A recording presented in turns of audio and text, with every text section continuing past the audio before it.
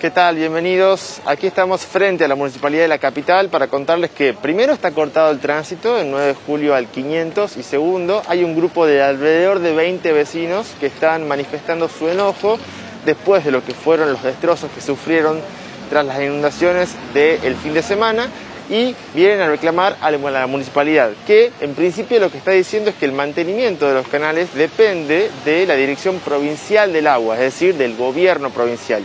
Sin embargo, los vecinos están aquí, quieren respuestas y nos van a contar cuáles son específicamente sus reclamos. ¿Su nombre? ¿Qué tal? Nosotros necesitamos que nos den una solución para el canal, porque el año pasado ya hizo desastre el canal y nadie se ha hecho cargo. ¿Qué el es lo que año este fin de pasado? Este, este fin de semana ha arrasado con, con la mitad de la casa que le quedaba de ella y ya está al aire mi casa, así como ven acá, si se puede ver acá.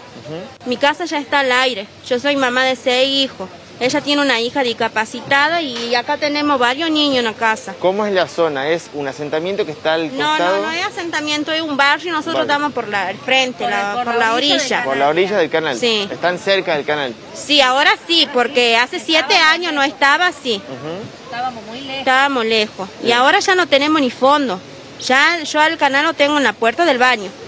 ¿Siempre que llueve así o lo del fin de semana fue No, más? primera vez que nos pasa así. Del año pasado que nos viene haciendo daño. Primero de marzo del año pasado ver. que se le llevó ¿Su nombre? Andrea. Eh, el año pasado se le llevó a la casa de mi hermano, que vivía con mi cuñada, estaba embarazada de la bebé y de otro nenito que tiene. Este, el agua se le llevó a su casa de material, completa la casa de material. El año pasado, ya hace un año, un año que pedíamos la solución de una máquina, de un paredón. Nadie ha Eso les ido. iba a a ver. preguntar, ¿qué es lo que piden que se haga? No, ¿Qué- so- Solu- Nosotros, yo soy Rosa, nosotros lo que queremos, nosotros no queremos cama, ni colchones, ni mercadería. Nosotros lo que queremos es que vayan y nos den una solución en el canal. Que vayan y limpien el canal y nos hagan un murellón, un paredón, lo que sea, pero necesitamos una solución urgente. Si hoy no nos dan la solución, nosotros vamos a tomar la plaza, una canchita que tenemos al frente. El año pasado nos metimos ahí y fue defensa civil y nos sacó. Pero nosotros si hoy nos recibimos, nosotros hoy esta noche nos instalamos ahí. Ahora, Yo tengo cuatro chicos y una chiquita discapacitada. Desde el municipio se dice que el mantenimiento del canal y demás, lo que ustedes piden, debería hacerlo el gobierno provincial, no la Claro, pero ¿qué pasa? Que de acá de municipalidad nos mandan a casa de gobierno. De casa de gobierno nos mandaron a previsión social. De previsión social nos mandan a familia crítica. Y todos se tiran la pelotita y ninguno nos da- está dando solución. Nosotros queremos una solución, que la persona responsable se haga cargo. ¿Cuántas Se familias haga. son las que están en esta situación? Cinco familias. Cinco familias somos las que estamos afectadas. Muchas gracias. Muy amable. El reclamo entonces de los vecinos del barrio 130 viviendas es claro, ¿no? Sí, Piden Matías. Que de alguna manera se construya algo que impida que cuando llueve mucho el canal desborde y les afecte las viviendas. Mientras tanto aquí sigue el corte, probablemente se va a levantar en algunos minutos más, pero bueno, hay obviamente demoras en el tránsito en las zonas aledañas a la municipalidad, estamos hablando de La Valle al 500. Mati, Bueno, y una 9 de cosa que, do- dos cosas rescato, Valle ¿no? al De, 500. de, de esto que te decían recién las vecinas. Por un lado, eh, esta cuestión de que no tienen muy en claro a quién tienen que ir a reclamar, ¿no? Reclaman en la municipalidad, reclaman al gobierno de la provincia, reclaman a otros, a otras reparticiones, en definitiva no tienen una solución y el peligro está ahí, está latente. Vos mostrabas hoy a la mañana, lo repasamos ahora en algunos minutos más, pero también este otro socavón que se generó eh, muy cerca de un colegio en la zona de Yerbabuena y, esto es muy peligroso y habla de la necesidad de un mantenimiento. Estas vecinas contaban y decían recién, no queremos colchones, no queremos chapas. eh, están esperando una solución definitiva, ¿no? Que es lo que pasa y lo que se solicita por lo general ante este tipo de desastres eh, a las autoridades, ¿no? Eh, así que bueno, nos quedamos ahí atentos. Nos decías, Mati, están cortadas entonces las calles ahí frente a la municipalidad.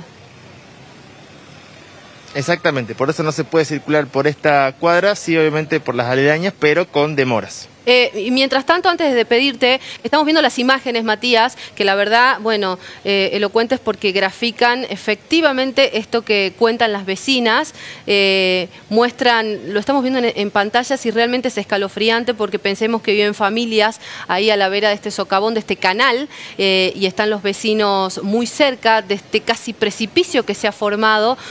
imaginemos que la situación es gravísima cuando llueve y cuando el caudal de agua crece y se torna tan peligroso ¿no? para los chicos que deben vivir ahí en la zona.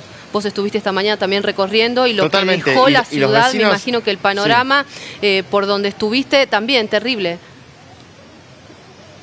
Sí, las historias empiezan a repetirse lamentablemente. O sea, eh, estuvimos hoy en la zona oeste de la provincia, es decir, Yerabuena, casi al límite con San Miguel.